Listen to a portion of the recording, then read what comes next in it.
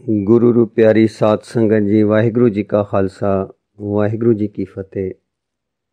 ਕਈ ਸਤਸੰਗੀਆਂ ਦਾ ਇਹ ਸਵਾਲ ਆਉਂਦਾ ਹੈ, ਜੀ ਗੁਰਬਾਣੀ ਵੀ ਪੜ੍ਹਦੇ ਆਂ ਸਿਮਰਨ ਵੀ ਕਰਦੇ ਆਂ ਪਰ ਮਨ ਉਦਾਸ, ਬੇਚੈਨ, ਵਿਆਕੁਲ ਰਹਿੰਦਾ ਹੈ। ਸਾਡੀ ਵਿਆਕੁਲਤਾ ਦਾ ਕਾਰਨ ਕੀ ਹੈ? ਸਾਨੂੰ ਅੱਜ ਦੀ ਇਸ ਵਾਰਤਾਲਾਪ ਤੋਂ ਪਤਾ ਚੱਲ ਜਾਏਗਾ, ਜੋ ਗੁਰੂ ਨਾਨਕ ਸਾਹਿਬ ਜੀ ਮਹਾਰਾਜ ਤੇ ਭਾਈ ਚੰਡਾ ਦੇ ਵਿਚਕਾਰ ਹੋਈ ਸੀ। ਭਾਈ ਚਾਂਡਾ ਜੀ ਨੂੰ ਜਦੋਂ ਗੁਰੂ ਨਾਨਕ ਸਾਹਿਬ ਜੀ ਦੇ ਆਉਣ ਦਾ ਪਤਾ ਲੱਗਿਆ, ਤਾਂ ਆਪ ਜੀ ਭੋਜਨ ਲੈ ਕੇ ਗੁਰੂ ਨਾਨਕ ਪਾਤਸ਼ਾਹ ਕੋਲ ਪਹੁੰਚੇ। ਉਸ ਤੋਂ ਬਾਅਦ ਜੋ ਵਾਰਤਾਲਾਪ ਹੋਈ, ਉਸ ਹਿੱਸੇ ਨੂੰ ਅਸੀਂ ਪੜਨ ਦੀ ਕੋਸ਼ਿਸ਼ ਕਰ ਰਹੇ ਹਾਂ ਜੀ। ਸਤਿਗੁਰੂ ਜੀ ਨੇ ਪੁੱਛਿਆ, ਚੰਡਿਆ, ਇਹ ਭੋਜਨ ਤੂੰ ਆਪਣੇ ਘਰੋਂ ਲਿਆਇਆ ਹੈ? ਚੰਡਾ, ਜੀਓ ਜੀ ਭੋਜਨ ਤਾਂ ਪਰਮੇਸ਼ਰ ਦੇ ਘਰੋਂ ਆਇਆ ਹੈ, ਮੈਂ ਕੌਣ ਵਿਚਾਰਾ ਹਾਂ? ਗੁਰੂ ਜੀ, ਚੰਡਿਆ, ਭੋਜਨ ਕਲਣ ਵਾਲੇ ਪਰਮੇਸ਼ਰ ਨੂੰ ਤੂੰ ਜਾਣਦਾ ਹੈ? ਚੰਡਾ, ਇਹ ਤਾਂ ਹੈ ਨਿਰੰਕਾਰੀ ਜੀ, ਸਭ ਕੋਈ ਜਾਣਦਾ ਹੈ। ਜੋ ਪਰਮੇਸ਼ਰ ਹੈ ਤੇ ਉਹ ਪਾਲਣਾ ਕਰਦਾ ਹੈ। ਗੁਰੂ ਜੀ, ਕੀ ਤੂੰ ਪਰਮੇਸ਼ਰ ਨੂੰ ਜਾਣਿਆ ਹੈ? ਝੰਡਾ ਕੁਛ ਹਰਿਆਨ ਹੋ ਕੇ। ਜਿਉ ਜਾਣਿਆ ਹੈ, ਤਾਂ ਸਤਸੰਗ ਵੱਲ ਚਿਤ ਨੂੰ ਰੁਚੀ ਰਹਿੰਦੀ ਹੈ। ਗੁਰੂ ਜੀ, ਜੇ ਜਾਣਿਆ ਹੈ, ਤਾਂ ਵਿਆਕੁਲ ਕਾਸ ਨੂੰ ਹੋਇਆ ਕਰਦਾ ਹੈ। ਵਿਆਕੁਲਤਾ ਤਾਂ ਨਾ ਜਾਣਨੇ ਦੀ ਨਿਸ਼ਾਨੀ ਹੈ। ਜਿਸ ਜਾਤਾ ਹੈ, ਉਹ ਕਿਉਂ ਕਾਬਰਦਾ ਹੈ? ਚੰਡਿਆ, ਚੰਗੀ ਤਰ੍ਹਾਂ ਵਿਚਾਰ, ਤੂੰ ਜਾਤਾ ਨਹੀਂ ਹੋਣਾ ਚੰਡਾ ਕਿਵੇਂ ਜੀਓ ਵਿਆਕੁਲ ਤਾਂ ਬਣਾ ਰਹਿੰਦਾ ਹਾਂ।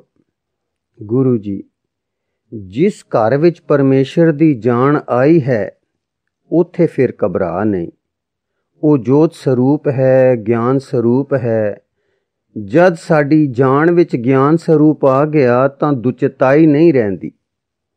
ਦੁਚਿਤਾਈ ਬਿਨਾ ਵਿਆਕੁਲਤਾ ਨਹੀਂ ਹੁੰਦੀ ਝੰਡਾ ਸੋਚ ਕੇ, ਠੀਕ ਗੁਰੂ ਜੀ, ਭਲਾ ਚੰਡਿਆ, ਜਦੋਂ ਤੂੰ ਸਵੇਰੇ ਉੱਠ ਕੇ ਮਨ ਦੀਆਂ ਦੋੜਾਂ ਨੂੰ ਠਲਦਾ ਹੈ, ਭਗਵੰਤ ਵਾਲੇ ਖਿਆਲ ਨੂੰ ਮੋੜਦਾ ਹੈ, ਤਦੋਂ ਤਾਂ ਉਸ ਵੱਲ ਧਿਆਨ ਪੈਂਦਾ ਹੈ।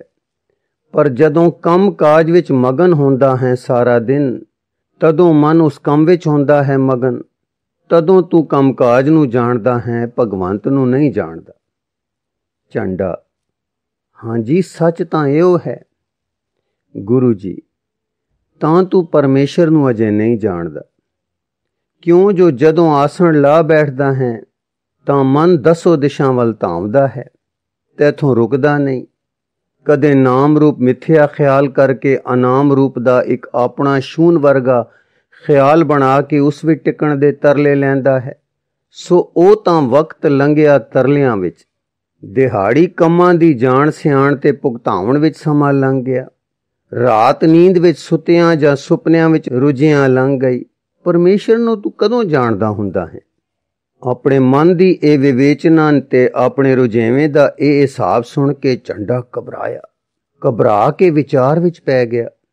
ਵਿਚਾਰ ਨੇ ਦੱਸਿਆ ਕਿ ਜੋਤ ਨਿਰੰਜਨੀ ਜੀ ਸੱਚ ਕਹਿ ਰਹੇ ਹਨ। ਮਨ ਮੇਰਾ ਹੈ ਤੇ ਉਸ ਦੀ ਦਸ਼ਾ ਆਪ ਦੱਸ ਰਹੇ ਹਨ। ਆਖਣ ਲੱਗਾ, ਸੱਚ ਕਿਆ ਨੇ? ਐਵੇਂ ਹੀ ਚਿੱਤ ਵਿੱਚ ਸਤਸੰਗ ਦਾ ਮਾਨ ਧਾਰੀ ਬੈਠਾ ਹਾਂ। ਆਪਣੇ ਪੋਲ ਦੀ ਆਪ ਨੂੰ ਸੋਜੀ ਨਾ ਪਈ।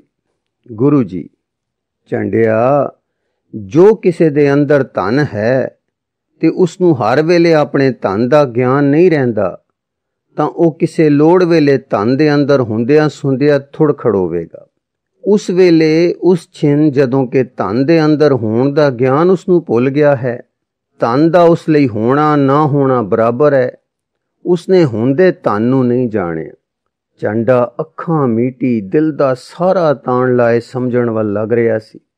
ਜਾਂ ਆਪ ਚੁੱਪ ਹੋ ਗਏ ਤਾਂ ਬੰਦ ਅੱਖਾਂ ਵਿੱਚ ਹੀ ਸਿਰ ਹਿਲਾ ਹਿਲਾ ਕੇ ਕਹਿਣ ਲੱਗਾ, ਠੀਕ ਠੀਕ। ਚੰਡੇ ਨੇ ਆਪਣੇ ਘਰ ਵਿੱਚ ਵਸਦੇ ਠਾਕਰ ਨੂੰ ਹੁੰਦਿਆਂ ਸੁੰਦਿਆਂ ਨਹੀਂ ਜਾਣਿਆ, ਪਰ ਨਹੀਂ ਜਾਣਿਆ। ਠੀਕ ਹੈ ਉਹ ਕਾਦਾ ਜਾਣਿਆ ਜੋ ਅੱਠੇ ਪੈਰ ਭੁੱਲ ਪਈ ਰਹੀ? ਕਦੇ ਸਾਂਝ ਵੇਲੇ ਬਰਸਾਤ ਦੇ ਬਦਲਾਂ ਵਿੱਚੋਂ ਤਰਲੇ ਲੈ ਕੇ ਕੋਈ ਕਿਰਨ ਦਿਸੀ, ਕੋਈ ਓਲੇ ਹੋ ਗਈ। ਇਸ ਹਿਸਾਬ ਤਾਂ ਅਸਾਂ ਨਹੀਂ ਜਾਤਾ, ਨਹੀਂ ਸਿੰਜਾਤਾ, ਨਹੀਂ ਪਛਾਤਾ, ਸਿਰ ਫੇਰ ਕੇ। ਆਹ, ਐਵੇਂ ਬੀਤ ਗਈ, ਬਿਰਥਾ ਲੰਘ। ਗੁਰੂ ਜੀ, ਚੰਡਿਆ, ਨਿਰਾਸ਼ ਵੀ ਨਾ ਹੋ ਜੋ ਤੈਨੂੰ ਲਗਨ ਲੱਗੀ ਹੈ। ਜੋ ਤੈਨੂੰ ਭਗਵਾਨ ਦੇ ਮਿਲਾਪ ਦੀ ਤ੍ਰਿਖਾ ਹੈ, ਸੋ ਵੀ ਤੰਤਾ ਜੋਗ ਹੈ। ਉਸੇ ਨੇ ਮਿਲਾਵਣਾ ਹੈ। ਜਿਸ ਦੇ ਅੰਦਰ ਦਰਸ਼ਨ ਦੀ ਸਿੱਕ ਨਹੀਂ, ਤਾਂਗ ਨਹੀਂ, ਉਹ ਤਾਂ ਮੁਰਦੇ ਸਮਾਨ ਹੈ। ਮੁਰਦੇ ਨੂੰ ਮਿਲਾਪ ਦੇ ਕੋਈ ਅਰਥ ਨਹੀਂ ਹੁੰਦੇ। ਤੇਰਾ ਮਨ ਜੀਵਦਾ ਹੈ, ਜੋ ਸਿੱਕਦਾ ਹੈ। ਸਮਝਣ ਗੋਚਰੀ ਗੱਲ ਇਹ ਹੈ ਕਿ ਤੂੰ ਉਸ ਨੂੰ ਜਾਣਿਆ ਨਹੀਂ, ਸਹੀ ਨਹੀਂ ਕੀਤਾ। ਝੰਡਾ ਤੜਫ ਕੇ। ਕਿਵੇਂ ਜਾਣਾ, ਕਿਵੇਂ ਸਿਆਣਾ? ਗੁਰੂ ਜੀ, ਪਰਮੇਸ਼ਰ ਅਨੰਤ ਹੈ। ਉਸ ਦਾ ਕੋਈ ਆਦ ਨਹੀਂ, ਕੋਈ ਅੰਤ ਨਹੀਂ। ਅਸੀਂ ਅੰਤ ਵਾਲੇ ਹਾਂ, ਅਨੰਤ ਤੇ ਅੰਤ ਵਾਲੇ ਵਿੱਚ ਵਿਥਾਂ ਪਈਆਂ ਹਨ। ਇਹ ਵਿਥਾਂ ਦੂਰ ਕਰਨੀਆਂ ਹਨ। ਝੰਡਾ ਤਰਲੇ ਦੀ ਸੁਰ ਵਿੱਚ। ਕਿਵੇਂ ਜੀਵ ਜੀ, ਕਿਵੇਂ? ਗੁਰੂ ਜੀ, ਅਨੰਤ ਤੇ ਅੰਤ ਵਾਲੇ ਵਿੱਚ ਇੱਕ ਵਿਥ ਕਾਲ ਦੀ ਹੈ, ਸਮੇਂ ਦੀ। ਸਾਡੇ ਸਾਰੇ ਅੰਤ ਵਾਲਿਆਂ ਦਾ ਕਾਲ ਯਾਨੀ ਸਮਾਂ ਛਿਨ ਛਿਨ ਕਰਕੇ ਲੰਘਦਾ ਹੈ। ਜੇ ਅਸੀਂ ਛਿਨ ਛਿਨ ਸੰਭਾਲ ਕਰੀਏ ਤਾਂ ਹਰ ਛਿਨ ਸੰਭਾਲਦੇ ਆਂ ਸਾਰੀਆਂ ਛਿਨਾਂ ਦੀ ਇੱਕ ਮਾਨੋ ਲੜੀ ਜੀ ਬਣ ਜਾਏਗੀ। ਇਸ ਨੂੰ ਕਹਾਂਗੇ ਸੰਭਾਲ ਦੀ ਲੜੀ। ਇਹ ਲੜੀ ਇੱਕ ਤਰ੍ਹਾਂ ਦੀ ਲਗਾਤਾਰ ਹੋ ਜਾਏਗੀ। ਮਾਨੋ ਅਸਾਂ ਕਾਲ ਦੀ ਹਰ ਛਿਨ ਨੂੰ ਸੰਭਾਲ ਕੇ ਆਪਣੇ ਤੇ ਅਨੰਤ ਦੇ ਵਿਚਾਲੇ ਕਾਲ ਦੀ ਨਦੀ ਉਤੇ ਇੱਕ ਪੁਲ ਬਣ ਲਿਆ ਤੇ ਇਸ ਵਿਥ ਨੂੰ ਮਾਨੋ ਦੂਰ ਕਰ ਲਿਆ ਹੈ। ਚੰਡਾ ਠੀਕ ਹੈ ਠੀਕ ਹੈ। ਕਿਹਾ ਸੋਹਣਾ ਕਰਕੇ ਸਮਝਾਇਆ ਨੇ। ਪਰ ਇਸ ਨੂੰ ਕਰਨੀ ਕਰਤਵ ਵਿੱਚ ਕੀ ਕੋ ਲਿਆਉਣਾ ਹੈ? ਉਹ ਜ਼ਰਾ ਖੋਲ ਕੇ ਦੱਸੋ ਨਾ ਜੀਓ। ਕਿਉਂਕਿ ਮੇਰਾ ਮਨ ਸ਼ਾਸਤਰ ਬੁੱਧੀ ਦੇ ਮਗਰ ਲੱਗ ਕੇ ਹੋਰਵੇਂ ਹੋਰਵੇਂ ਸਮਝਦਾ ਰਿਹਾ ਹੈ। ਜਿਸ ਨਾਲ ਮਨ ਤਾਂ ਸਬੁੱਧ ਹੁੰਦਾ ਗਿਆ ਹੈ, ਪਰ ਹੁਣ ਸੋਜੀ ਪੈਂਦੀ ਹੈ ਕਿ ਅੰਦਰ ਪੁੜਿਆ ਘਟਿਆ ਕੁਛ ਨਹੀਂ। ਕਰਨੀ ਕਰਤਵਾਂ ਦਾ ਵੱਲ ਠੀਕ ਨਹੀਂ ਆਇਆ, ਤਾਂ ਹੀ ਸਦਾ ਵਿਆਕੁਲ ਹੁੰਦਾ ਰਿਹਾ ਹਾਂ।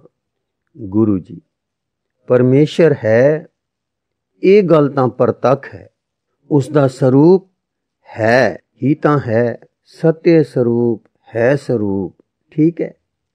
ਚੰਡਾ ਜਿਉ ਹਾਂ ਸਤ, ਤਿੰਨੇ ਕਾਲ ਸਤ, ਸਦਾ ਸਤ। ਉਹ ਹੈ, ਇਹ ਉਹ ਦੱਸਿਆ ਨੇ ਨਾ, ਹੈ। ਗੁਰੂ ਜੀ ਹੈ, ਉਹ ਹੈ, ਇਹ ਉਸ ਦਾ ਇੱਕ ਸਰੂਪ ਹੈ।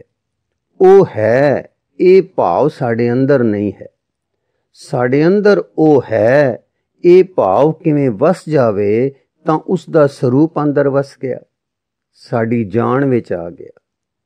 ਪਰ ਅਸੀਂ ਕਾਲ ਵਿੱਚ ਵਸਦੇ ਹਾਂ, ਕਾਲ ਸਾਡਾ ਛਿਨ ਛਿਨ ਕਰਕੇ ਲੰਘਦਾ ਹੈ। ਮਨ ਦਾ ਸੰਕਲਪ ਛਿਨ ਛਿਨ ਵਿੱਚ ਹੋਰਨਾਂ ਪਰਚਿਆਂ, ਸੋਚਾਂ ਵਿੱਚ ਤੁਰਿਆ ਜਾ ਰਿਹਾ ਹੈ। ਮਾਨੋ, ਸਾਡਾ ਸਾਰਾ ਕਾਲ ਇਸ ਹੈ ਭਾਵਨਾ ਦੇ ਵਿਸਾਰੇ ਵਿੱਚ ਲੰਘ ਜਾਂਦਾ ਹੈ। ਜੇ ਅਸੀਂ ਵਿਸਾਰੇ ਦੀ ਥਾਂ ਯਾਦ ਨੂੰ ਕਹੋ ਜਾਂ ਚੇਤੇ ਨੂੰ ਕਹੋ ਜਾਂ ਸਿਮਰਨ ਨੂੰ ਕਹੋ, ਅੰਦਰ ਪਾ ਲਈਏ, ਝੰਡਾ ਜ਼ਰਾ ਕਾਲਾ ਹੋ ਕੇ ਕਿਵੇਂ? ਗੁਰੂ ਜੀ, ਪਰਮੇਸ਼ਰ ਹੈ। ਇਹ ਗੱਲ ਹਰ ਛਿਨ ਅਸੀਂ ਯਾਦ ਰੱਖੀ ਸਾਡੇ ਚੇਤੇ ਵਿੱਚੋਂ ਉਹ ਹੈ। ਇਹ ਗੱਲ ਕਿਸੇ ਛਿਨ ਨਾ ਨਿਕਲੇ।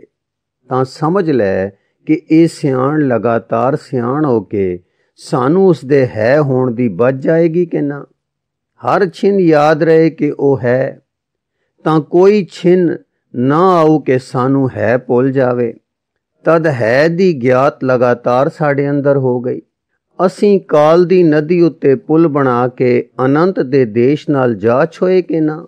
ਅੰਤ ਵਾਲੇ ਦੇ ਅੰਦਰ ਅਨੰਤ ਦੀ ਹੈ ਦਾ ਭਾਵ ਇੱਕ ਤਰ੍ਹਾਂ ਨਾਲ ਲਗਾਤਾਰ ਭਾਵ ਹੋ ਗਿਆ। ਝੰਡਾ, ਠੀਕ ਹੈ, ਠੰਡਾ ਸਾਹ ਲੈ ਕੇ ਕਿਵੇਂ ਕੱਖ ਦੇ ਓਲਿਓਂ ਲੱਖ ਕੱਢ ਦਿਖਾਇਆ ਨੇ। ਗੁਰੂ ਜੀ, ਫਿਰ ਇਸ ਲਗਾਤਾਰ ਹੋਣ ਦਾ ਅੰਦਰ ਅਭਿਆਸ ਕਰੋ। ਕਰਤਾਰ ਹੈ ਮੇਰੇ ਅੰਦਰ ਹੈ। ਹੈ ਹੈ, ਚਿੰਤਨ ਕਰਦਿਆਂ ਚੇਤੇ ਵਿੱਚ ਉਹ ਹੈ ਵਸ ਜਾਏਗੀ। ਫਿਰ ਚੇਤੇ ਵਿੱਚ ਰੱਖੀ ਗੱਲ ਤੁਰ ਅੰਦਰਲੇ ਚਿੱਤ ਵਿੱਚ ਉਤਰ ਜਾਏਗੀ। ਕੋਈ ਦਿਨ ਐਸਾ ਆਵੇਗਾ ਕਿ ਪਰਵਾਹ ਲਗਾਤਾਰੀ ਹੋ ਜਾਏਗਾ, ਸੁਭਾਵਕ ਹੋ ਜਾਏਗਾ, ਸੁੱਤੇ ਸਿੱਧ ਟੁਰਦਾ ਰਹੇਗਾ। ਤਦੋਂ ਸਮਝੀ ਕਿ ਪਰਮੇਸ਼ਰ ਨੂੰ ਕੁਝ ਜਾਣਿਆ ਹੈ।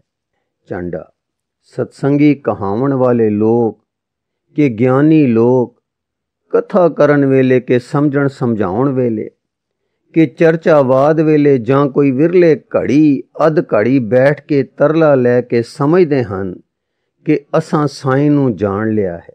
ਇਹੋ ਭੁੱਲ ਭੋਲਿਆਂ ਨੂੰ ਵਾਪਰ ਰਹੀ ਹੈ। ਅੱਠ ਪਹਿਰਾਂ ਵਿੱਚੋਂ ਸੱਤ ਪੈਰ ਤੇ ਪੌਣੇ ਅੱਠ ਘੜੀਆਂ ਭੁੱਲ ਵਿੱਚ ਵਸਦੇ, ਮਨੋਂ ਦੂਰੀ ਵਿੱਚ ਰਹਿੰਦੇ ਵਿੱਥਾਂ ਤੇ ਖੜੋ ਕੇ ਕਾਲ ਦੀ ਨਦੀ ਵਿੱਚ ਕੱਖ ਪਲਾ ਇਕੱਠੇ ਕਰਦਿਆਂ ਲੰਘ ਜਾਂਦੇ ਹਨ। ਫਿਰ ਅਸੀਂ ਕਹਿੰਦੇ ਹਾਂ ਕਿ ਅਸੀਂ ਸਤਸੰਗੀ ਹਾਂ, ਰੱਬ ਦੇ ਪ੍ਰੇਮੀ ਹਾਂ, ਭਲੇ ਹਾਂ, ਵੈਰਾਗੀ ਹਾਂ। ਅਸਾਂ ਜਾਤਾ ਹੈ, ਬਾਕੀ ਦਾ ਜਗਤ ਮਗਨ ਅਵਸਥਾ ਵਿੱਚ ਹੈ। ਫਿਰ ਅਸੀਂ ਉਹਨਾਂ ਨੂੰ ਉਪਦੇਸ਼ ਦੇਣ ਵੀ ਤੁਰ ਪੈਂਦੇ ਹਾਂ। ਪੁੱਲ ਦਰ ਪੁੱਲ ਹੁੰਦੀ ਰਹਿੰਦੀ ਹੈ। ਸ਼ੌਕ ਹੈ ਆਪੇ ਤੇ। ਹਾਂ, ਮੈਨੂੰ ਸ਼ੌਕ ਹੈ ਆਪਣੇ ਆਪੇ ਤੇ। ਗੁਰੂ ਜੀ, ਕਾਲ ਛਿਨ ਛਿਨ ਕਰਕੇ ਟੁਰ ਰਿਹਾ ਹੈ, ਪਰ ਭਾਸ ਦਾ ਇੱਕ ਵਗਦੀ ਧਾਰਾ ਵਾਂਗੂ ਹੈ। ਤਿਵੇਂ ਛਿਨ ਛਿਨ ਵਿੱਚ ਸਾਈਂ ਨੂੰ ਯਾਦ ਰੱਖੋ, ਇਹ ਛਿਨ ਛਿਨ ਦੀ ਯਾਦ ਇੱਕ ਅਵਰਿਲ ਧਾਰਾ ਵਾਂਗੂ ਪ੍ਰਵਾਹ ਬਣ ਜਾਏਗੀ। ਜਿਵੇਂ ਧਨੀ ਨੂੰ ਆਪਣੇ ਤਨ ਦਾ ਗਿਆਨ ਲਗਾਤਾਰੀ ਹੈ, ਤਦੇ ਹੀ ਉਹ ਤਨ ਦਾ ਸੁਖ ਮਾਣਦਾ ਹੈ। ਤਿਵੇਂ ਸਾਈਂ ਦੀ ਹੋਣ ਦਾ ਅਭਿਆਸ ਲਗਾਤਾਰ ਹੋ ਕੇ ਗਿਆਨ ਰੂਪ ਹੋ ਜਾਏਗਾ। ਲਗਾਤਾਰ ਹੈ ਦਾ ਭਾਵ ਚੇਤੇ ਵਿੱਚ ਵਸਦਾ ਵਸਦਾ, ਚਿਤ ਟਿਕ ਜਾਏਗਾ ਤੇ ਚੇਤੇ ਵਿੱਚ ਲਗਾਤਾਰੀ ਗਿਆਨ ਪਾਸੇਗਾ। ਇਸ ਤੋਂ ਸਵਾਦ, ਰਸ ਤੇ ਆਨੰਦ ਮਿਲੇਗਾ। ਗੁਰੂ ਰੂ ਪਿਆਰੀ ਸਾਧ ਸੰਗਤ ਜੀ, ਇਸ ਤੋਂ ਅੱਗੇ ਭਾਈ ਚੰਡਾ ਜੀ ਨੇ ਕੁਝ ਸਵਾਲ ਹੋਰ ਕੀਤੇ, ਜਿਸ ਦਾ ਅੱਗੇ ਕਦੀ ਫਿਰ ਆਪ ਜੀ ਨੂੰ ਪੜ੍ਹ ਕੇ ਸਰਵਣ ਕਰਾਉਣ ਦੀ ਕੋਸ਼ਿਸ਼ ਕਰਾਂਗੇ ਜੀ। ਵਾਹਿਗੁਰੂ ਜੀ ਕਾ ਖਾਲਸਾ, ਵਾਹਿਗੁਰੂ ਜੀ ਕੀ